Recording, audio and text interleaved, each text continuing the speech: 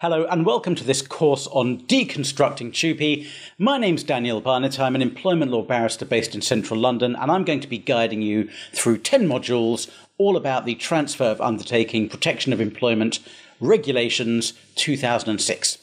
Module 1 is on TUPE uh, applies in business transfer situations. Now, TUPE can seem intimidating. The provisions are complex, the HR processes involved in a TUPE transfer can be detailed, time consuming, and emotional for everyone involved. And what I'm going to be doing throughout this course is aiming to deconstruct the law and explain the relevant principles in simple and practical terms. Now, TUPE, often mispronounced 2P or TUPE, TUPE is the acronym used to refer to the Transfer of Undertakings, Protection of Employment Regulations 2006. TUPE is a legal mechanism which protects employees when the business they work for transfers to a new owner. And TUPE does three important things. Number one, when there's a TUPE transfer, employees transfer automatically from the transferor, that's the original employer, they're called the transferor, to a new employer who's called the transferee. The transferee steps into the original employer's shoes and inherits all rights, liabilities, and obligations in relation to the employees.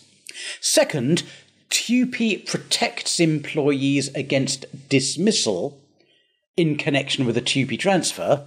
And third, TUPE requires employers to inform and consult representatives of any affected employees before a TUPE transfer takes place. Now, this course addresses all three issues and explains the practical things to think about when faced with a potential TUPE transfer. In this first module, we'll look at business transfers to see one of the two main situations when TUPE applies, the other being service provision changeovers, which we'll discuss in module 2. We'll cover the definition of an economic entity, including the needs for stability, and we'll look at when part of a business can be enough to transfer. We'll look at what an economic entity actually transfers to be a TUPE transfer, including looking at when things it does post transfer are similar but not necessarily identical to before. We'll also look at the significance of gaps in the provision of services. For example, if a restaurant closes down for three months for refurbishment after being transferred to a new owner. Now, TUPE applies to a relevant transfer. Regulation 3 of TUPE sets out two types of relevant transfer a business transfer and a service provision change. Business transfers are also known as standard transfers. It's where a business or part of a business moves to a new owner, not by way of share sale, I'll talk about that in Module 3, but just by way of the transfer of the assets. The identity of the employer has to change to qualify as a business transfer. There's got to be a transfer of an economic entity that retains its identity afterwards. And there are three key elements here. Element number one is there's got to be an economic entity. Number two is there's got to be a transfer of that economic entity. And Key element three is that economic entity must retain its identity after the transfer. It's a bit like sea, she sells seashells on the seashore. The economic entity must retain its identity after the transfer. You've got to say that quite a lot of times in a, tr- in a court or tribunal before it can trip off the tongue naturally. So I'm going to talk about each of those three elements.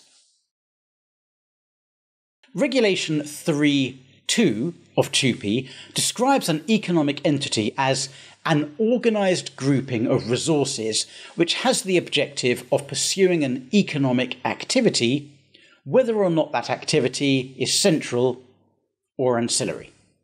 Sometimes it'll be clear that an economic entity has transferred. So if a company sells its entire business to another company as a going concern, well, that's obviously going to be a business transfer. For example, Cleanaway Limited buys the whole of Not So Clean's cleaning business. Cleanaway takes over premises, takes over equipment and staff of Not So Clean, and continues to provide the same cleaning services to Not So Clean's customers. The economic entity here is Not So Clean's cleaning business. The staff, equipment, and premises are an organised grouping of resources. The organised grouping pursues an economic activity, the provision of cleaning services. But the economic entity has to be more than just a collection of assets. And certain types of assets are more important to certain types of businesses. So a cleaning company is a labour intensive business. That means that staff are the main asset, and the transfer of staff is therefore key to whether TUPE applies. A business can't refuse to take on employees in order to avoid TUPE, though, because a dismissal is automatically unfair if the sole or principal reason for dismissal is the transfer. That's Regulation 7 of TUPE, and I'm going to look at TUPE and dismissals in a later module. So, in an asset reliant business, it can be helpful to look at the core assets of a business to see if they have transferred and are being used in the same way afterwards. If someone's selling a farm, the transfer of the farm land is crucial to the farm's economic activity of farming. If the sale relates to the sale of farm equipment, but without the land, it's probably just a sale of assets rather than the sale of an economic entity which would give rise to a TUPE transfer. The economic entity must be stable. Stability here means that the economic activity must be ongoing when it transfers. A contract to complete a short term building contract would not be an economic entity because it's too short term. Again, I'll talk more about that in Module 3. It's not a stable, ongoing activity. In a labour intensive business like a cleaning business, a stable economic entity would be an organised group of workers who are permanently assigned to particular work, as in our not so clean example. The transfer of part of a business can be a TUPE transfer, provided the part is a self contained economic unit. Any assets, including staff, would need to be grouped together to create a distinct economic entity which can be severed from the rest of the business. So, if Not So Clean had separate domestic and commercial cleaning functions, the transfer of only one of those functions to Cleanaway could be a business transfer, provided the rest of the test in TUPE is met. Most of the time, it'll be obvious when a business transfer has taken place.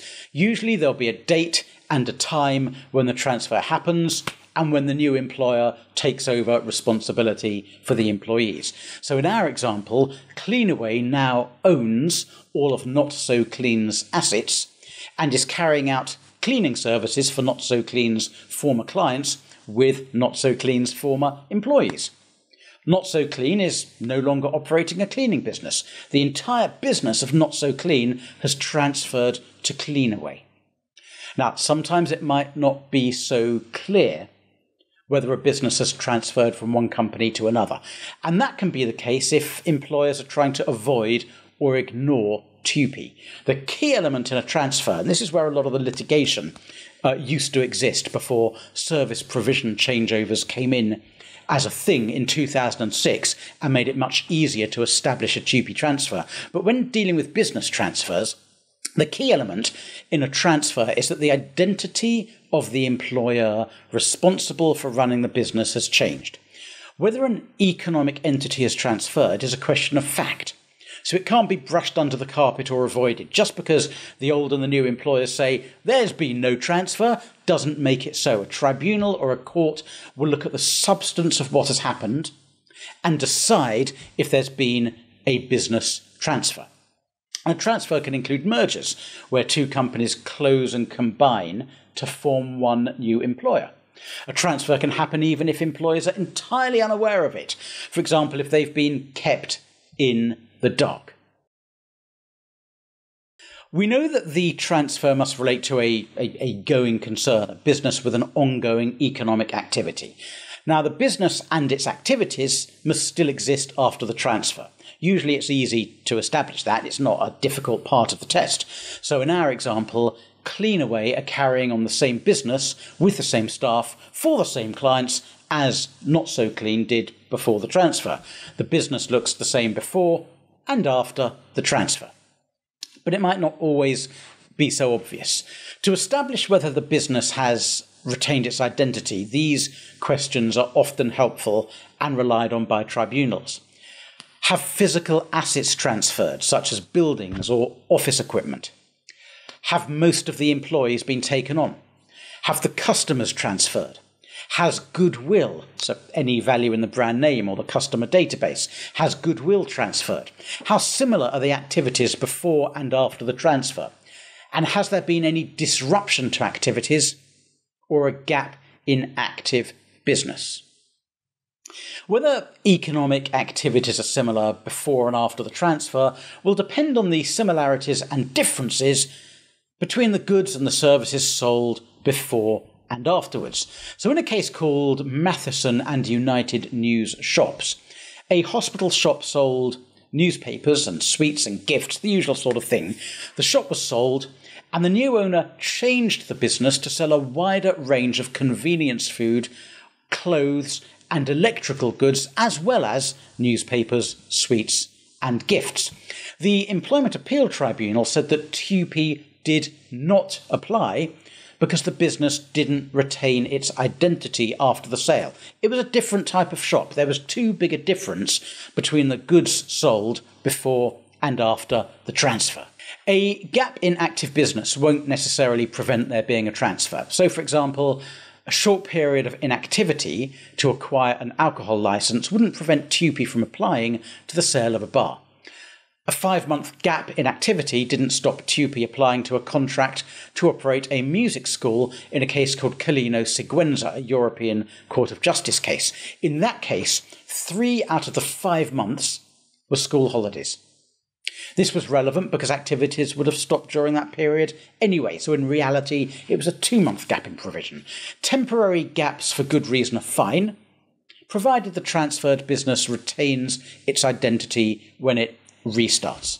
Well, thanks for watching so far. Um, in Module 2, we'll look at the other situation that gives rise to a TUPE transfer, namely a service provision change.